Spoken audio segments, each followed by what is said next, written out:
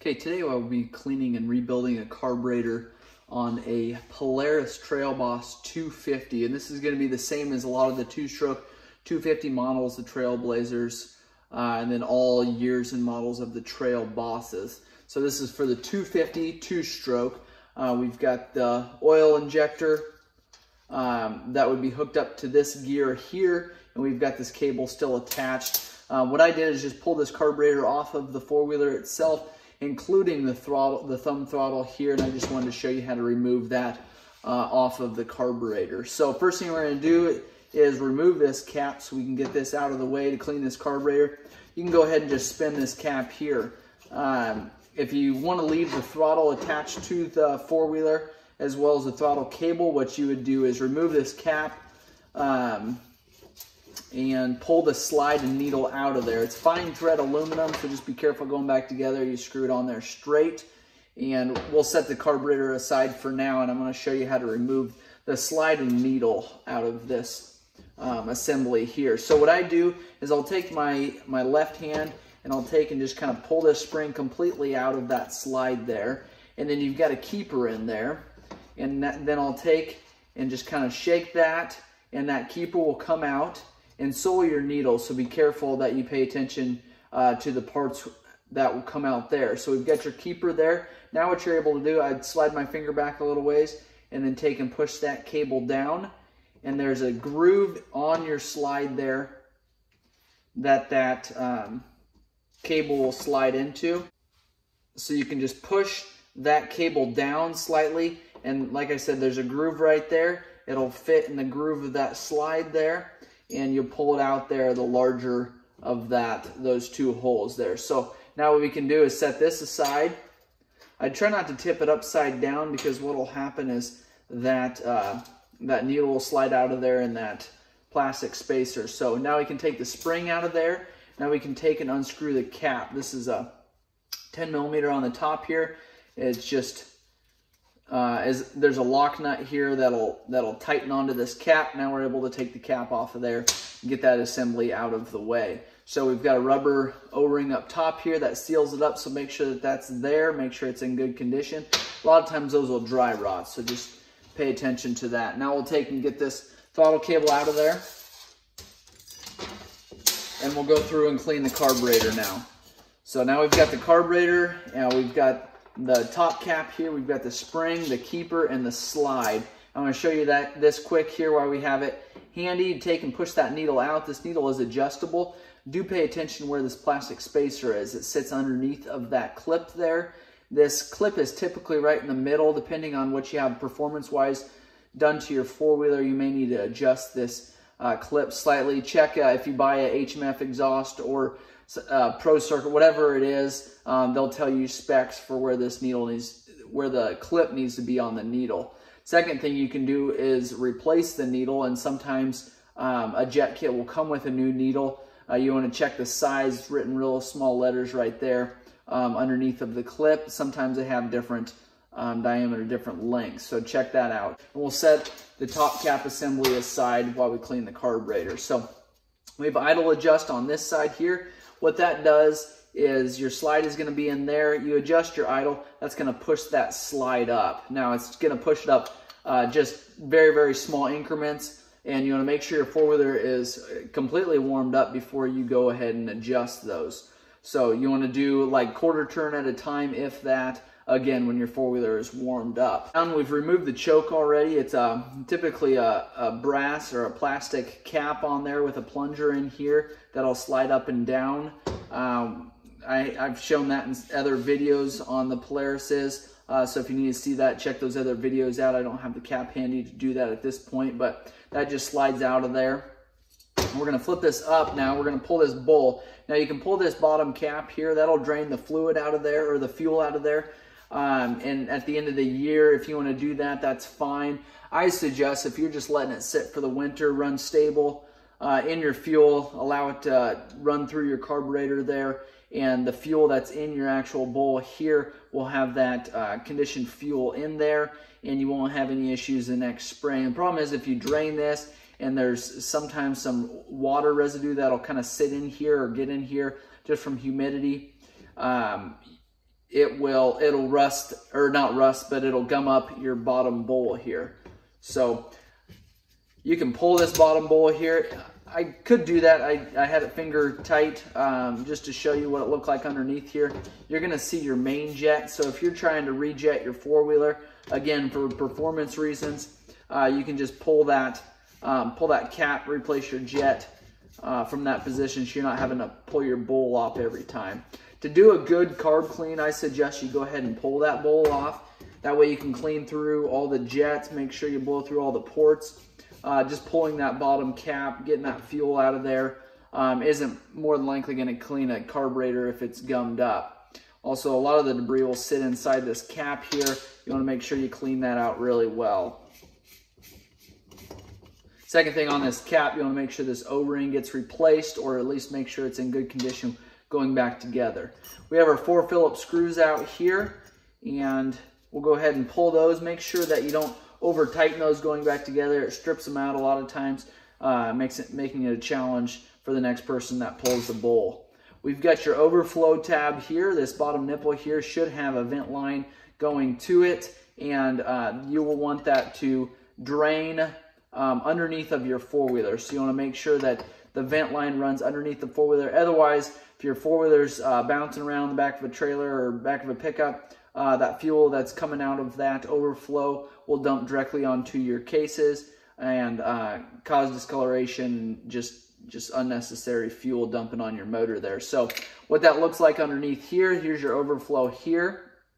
And so again, fuel sloshing around there, it's gonna it's gonna overflow in, into this overflow tube here, this port here, and drain out the bottom. You do want this free and clear, so make sure you blow through that with compressed air. Otherwise, you will, um, otherwise that fuel sloshing around in your bowl here will go directly into your fuel tank. And that's, or excuse me, directly into your cylinder, which is not a good thing. So there is your floats here. Two of them on this model. Inspect those, make sure they're in good condition. They are plastic.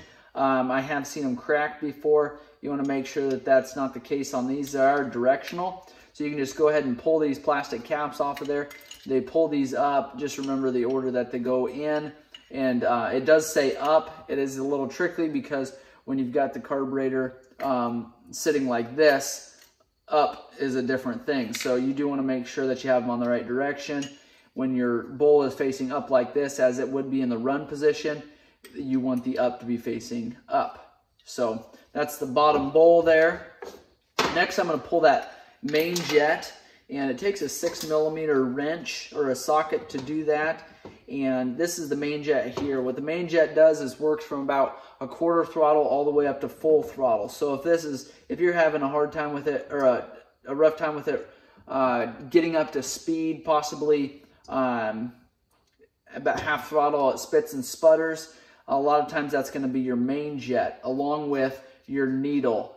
These kind of run together like this, not, not quite as extreme, but um, this needle allows fuel to flow up through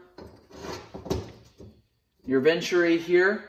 So your needle is going to run down here right into your main jet, and the main jet is going to allow is going to regulate how much fuel is going up into the cylinder. This is going to regulate how much or when that fuel comes up into the cylinder. So if that makes sense there, if this, if you have a larger jet, if you're full throttle, your larger main jet is going to allow more fuel to, to go up into your cylinder. If you've got a smaller jet, smaller main jet, it's going to, it's going to restrict the amount of fuel going up into your uh, cylinder. So if you have a longer needle, it's going to take longer for that fuel or longer for that slide to open, that slide is going to have to open more to allow that fuel to come up through your carburetor and go into your cylinder. So if you have questions on that, make sure you leave those in the comments below. Um, kind of explain that pretty quick and without actual fuel running through there, uh, it's really hard to uh, picture that if you've never seen something like that before. You do have a brass washer underneath of your main jet, so make sure that goes back in that order and inspect those both those pieces really well. One other thing about this main jet, you do want to blow through it with compressed air. Carb and choke cleaner is also a good thing, uh, just to make sure there's no debris. Main jet isn't gummed up anywhere. make sure it's in good condition there. Next will be your pilot jet. That sits down in this area here. You've got to use a smaller flat screwdriver to get to that. Uh, one key thing is you don't want to use too small of a screwdriver, and I'll show you that as soon as I get this pilot jet pulled out here.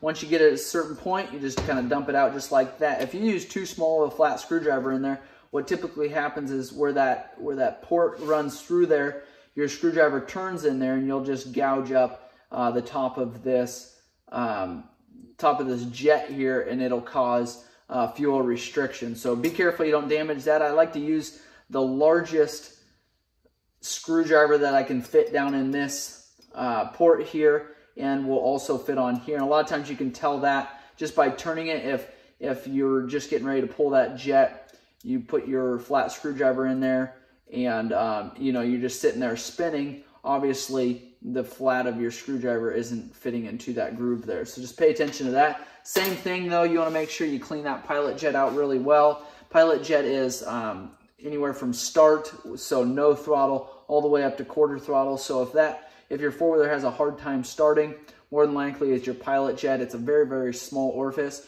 and uh, they get gummed up very, very easily or any kind of potential sand or debris that's in your fuel tank that gets sucked down into your carburetor, well, when you start your four-wheeler, will try to get sucked up through that pilot jet and get lodged in there. So that pilot jet, if you can see here, uh, runs into this port here, and it comes up um, and out these two ports here. Really hard to see, I'm sure, on this video, but there's a jet, or there's a port that's kind of facing towards the cylinder, and then there's also one that is um, straight up. And so those work together to dump the right amount of fuel into your carburetor to start your um, four-wheeler.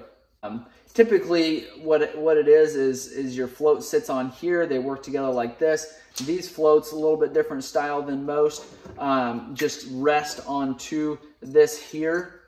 And to make sure, these are adjustable. So if your uh, fuel is constantly leaking when it's sitting there in the shop, um, or you just feel like your bike isn't getting enough fuel or too much fuel, you can adjust these. Now, I, what I don't want you to do is have a bad needle and seat, which is this right here and this underneath here. If that's if you have a bad needle and seat and you're trying to fix that by adjusting your float height, you're never going to fix it. And what you're going to do is cause either a lean, uh, lean bike, meaning your bike's not getting enough fuel, or you're going to have too much fuel and that fuel is going to be dumping out your overflow there. So I don't suggest adjusting this uh, unless it's out of spec. Don't adjust this to try to fix your fuel leak problem um, if it's, you know, unless, unless it's just an easy small adjustment that you can make to do that. To clean this area out, and I would suggest doing this when you're cleaning carburetor, pull the pin here. Sometimes these get stuck. You've got to use a pick. Be very careful you don't break these posts off here. They are aluminum posts, break very, very easily. And as soon as you pull that pin, typically those are fairly easy, you'll see your needle and then this is your seat here. Inspect the rubber tip on your needle. This one here you can see has got a little bit of a notch in there. What happens a lot of times is these become squared because as you can see your needle is somewhat squared um, just from use. Now you can replace the needle in the seat. I would suggest doing both of them at the same time. I wouldn't suggest replacing your, your seat here without the needle. Um, I don't know that they're sold separate ever, um, but I would suggest just replacing them together. To replace your seat, 10 millimeter uh, wrench there, and be really careful when you're loosening this up not to slam into one of these posts here and break these off. Just be careful of that. So once you get it loose, again, it's a brass fitting, so it doesn't have to be uh, extremely tight. But pull that off of there and you'll see um, you've got a gasket underneath there, kind of a red uh, soft gasket there um, but not not an O-ring. It's it's an actual gasket. Um, uh, you've got a port going up through there, and the fuel coming from your fuel tank is going to run down this uh, port here, down into your needle seat area here. So you can take compressed air, blow through that, make sure that that's free and clear. Going back together then, just make sure that you've got both pieces on there. And before you start re, uh, rebuilding this carburetor, before you start going back together with it, I would suggest blowing through all these ports with compressed air. Just make sure all of them are free of any debris. Um, make sure that there's no buildup in any of those. So going back together then, we can take and put our seat back on there. Again, making sure you don't slam into one of these posts here. And then we'll grab our needle, and it doesn't matter which direction this needle goes on on this tab here. They're both exactly the same. Slide that down into place. Grab your pin here. I like to put this pin in the same direction that you pulled it off. Um, it'll, I think it'll go in the other way. I don't think it'll cause any problems, but sometimes you've got a tapered area on one of these or even a tapered pin. Sometimes if you put them in the wrong direction, you just cause issues down the road. So just make sure you know, I always put the pin closest to me, slide it in this way. It's the same thing every single time I clean the carburetor. Main jet, again, make sure that spacer's on there. Make sure it's in good condition. Then snug that up. Again, it's brass. Doesn't need to go Hulk mode on it. So just make sure you're snug there. Take your pilot jet then. Hopefully it's free and clear at this point. Take your small, large screwdriver, tighten it up there. Again, just snug it up. This gasket, this one's in really good shape. A lot of times these dry rot, a lot of times these split. Make sure you're going the right direction here. Your uh, open area is going to slide over that tube there. Slide it down. Make sure it's seated properly all the way. Make sure this is all cleaned out. Carb and choke cleaner, uh, compressed air, whatever you got to do to get that clean. Slide that down on top of there. And make sure it's seated properly. Sometimes Sometimes with that gasket on there, if it's a new gasket or a thick gasket, you'll have a little, little crooked there. And uh, you just want to make sure these bolts go straight down. You're, again, you're going into aluminum, so very easy to cross thread and, and ruin these threads. So you want to make sure everything's straight when you start and make sure that you don't torque them down to 300 foot-pounds. Snug up all four of these bolts. I don't, I don't actually tighten them up until I've got them all kind of pulled down there again for that reason that I want to make sure they're all going in there straight. And if you catch one thread wrong, you're going to destroy the threads on that carburetor. We can take and put our cap on at this point. 17 millimeter uh, wrench to tighten that up. Take and flip that up and I'll show you how to uh, put this cap on. Real quick, air fuel screw is here. And to adjust that or to set that, um, you you count the amount of turns in, so or out, I guess. So if you're if you're gonna take the carburetor apart, you want to make sure you count how many turns in it is first. So half turn, one. So that was one and a half because I did a half turn earlier. So to take it out now, just unscrew it. You know that it's a turn and a half out is where it needs to be. You take and unscrew it like that. Make sure you got all the pieces here. There's a spring, typically a washer, and typically an O-ring. A lot of times you got to use a pick to get those out. They're kind of stuck down in there. Um, but it goes O-ring, washer, spring, air fuel, screw. So again, make sure it's going in there straight, completely seat it. And again, you don't have to crank on it, just snug it up. When you get to that where it's completely seated, take and back it out. Half turn, one and a half. I will go ahead and put that back, uh, that cable back on there. So let's do this in reverse order. Take this keeper out. I'm going to take, put this cap on here. Spin it on as far as you need to go there. Take your spring, slide it on there all the way. Make sure it's in the groove there. Slide it down all the way. And then I take and pinch that cable. And slide our cable down into that groove there.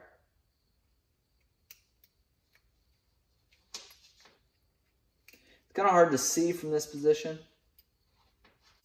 Okay, slide that into position there. Take our keeper and our, you can see that groove there is going to sit right down beside that throttle cable. So I, we've got our groove right there. And it's going to sit down right, I don't know if you'll be able to see that, but it's going to, it's going to sit down right in that position there. So take that, and you might have to take your screwdriver then, kind of turn it into place there. Take your slide. The larger, the fatter groove there is going to slide is going to go down the idle side, and the longer slot there is going to go down the opposite of the idle side. So going to slide that in. We actually can let that spring go. And when you're sliding it in, you want to make sure that you uh, look down there to make sure that that needle is going directly into that um, lower side of that carburetor. If you don't do that, which it's sticking actually in that position, if you don't do that, you're going to push that uh, needle right up out of that slide. That spring will kind of hold it, but um, it really just needs to go slide all the way down into that bottom side of that carburetor. Take that cap then, spin it on there, and that is a clean carb on a Polaris 250. That's again, that's a two-stroke model, and this is happens to be a 91 Trail Boss 250. If you've liked this video, please subscribe to my channel. Uh, check out my other videos on the Polaris ATV. Actually, hundreds of different videos, service videos on any ATV and motorcycle. So if you found this video helpful, please like and comment below if there's something that you want to see, want me to do a video on, or uh, just appreciate the videos. Thanks for watching.